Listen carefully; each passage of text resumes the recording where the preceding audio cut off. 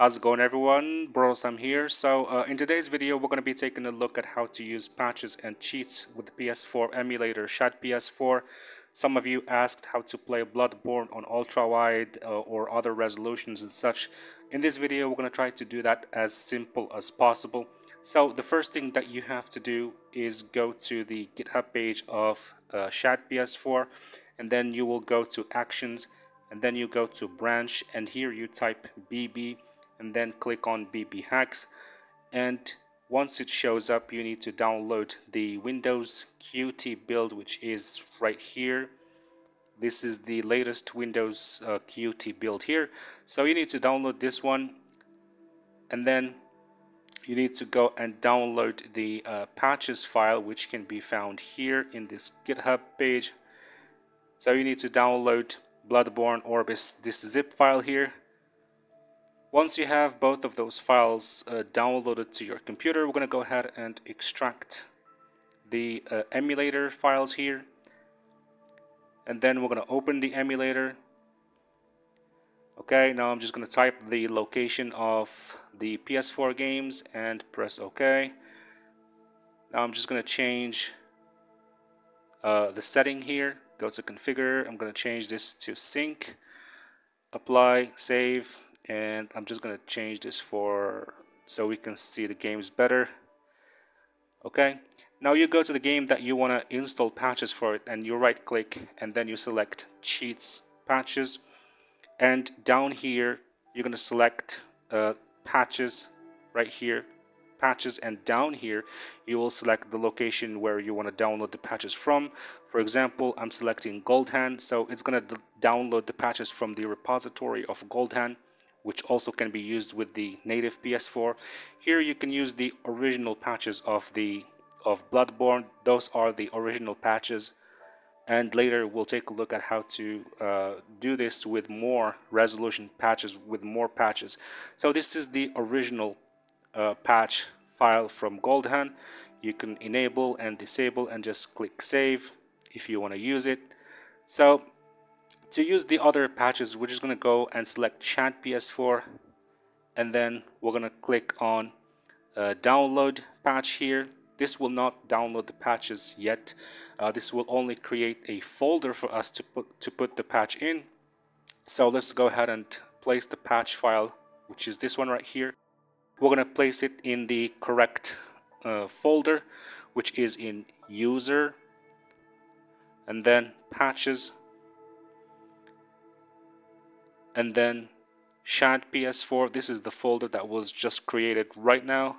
And we'll simply drag and drop the Bloodborne patch file here. And then we're gonna go back to the emulator. Gonna go back to the emulator and we're gonna right click again.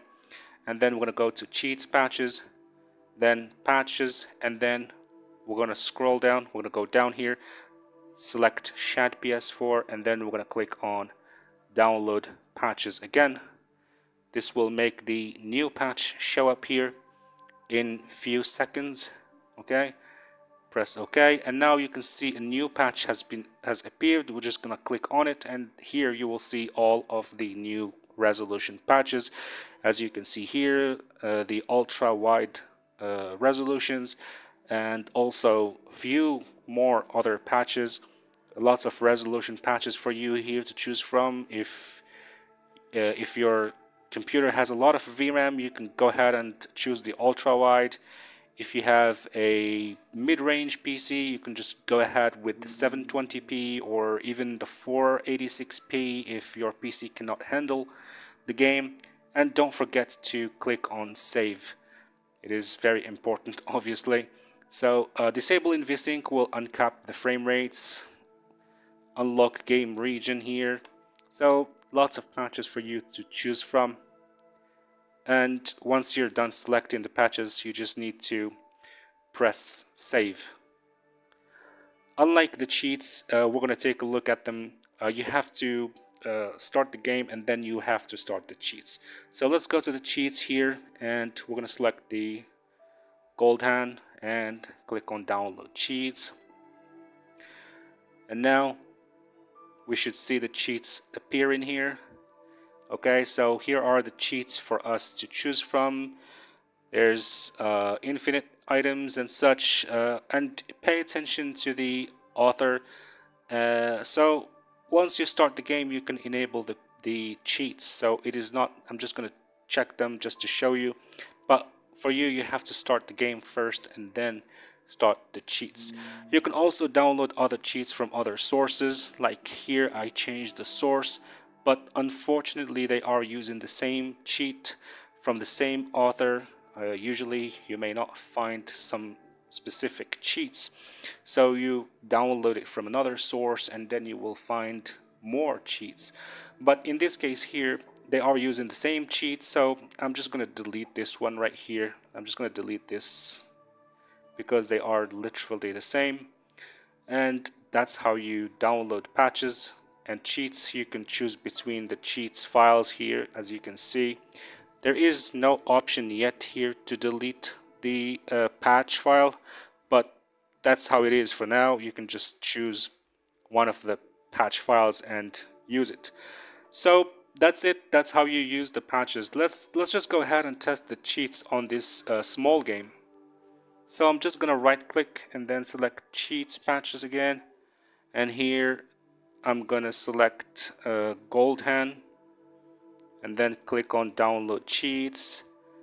And here okay we should see the cheats appear here infinite lives. So uh, I'm just gonna check it now just to show you but it's best to not check it yet uh, until the game is launched so uh, it's now unchecked and the game has launched I'm just gonna walk into an enemy and you should see the number on the top left decreasing from 5 lives now it became 4 lives so that's why you don't enable it before you launch the game. So you launch the game first.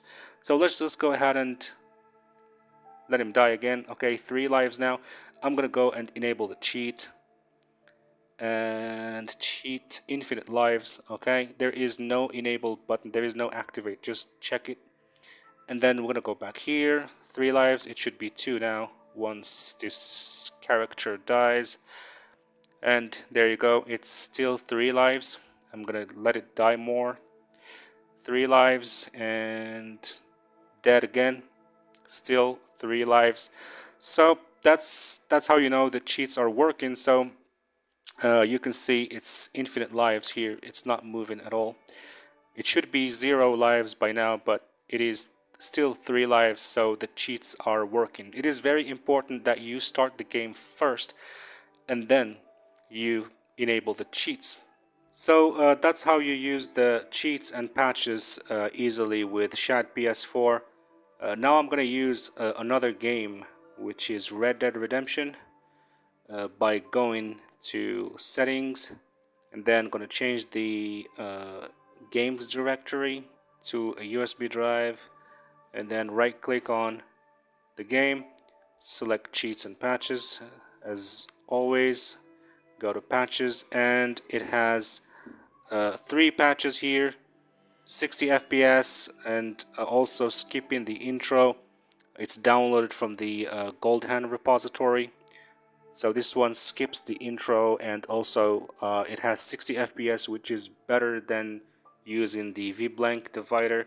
So I'm just gonna run it. So yeah, that's it uh, that is the end of this video. This is basically how to use uh, patches and cheats. Uh, this is how to use more patches with Bloodborne because the original patch file does not have a lot of resolutions.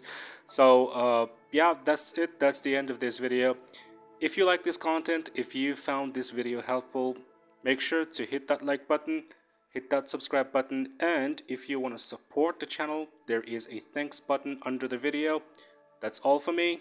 Take care. I will see you soon. See ya.